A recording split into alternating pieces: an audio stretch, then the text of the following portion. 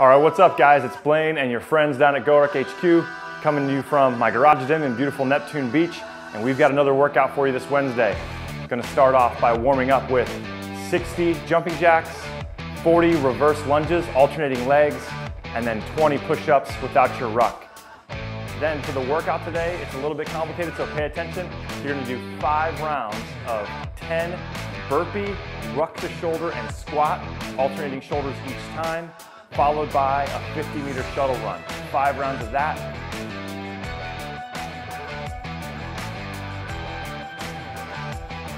Then you're immediately gonna go into 54 count flutter kicks with the ruck held up over your chest, and then 50 push-ups with your ruck on your back.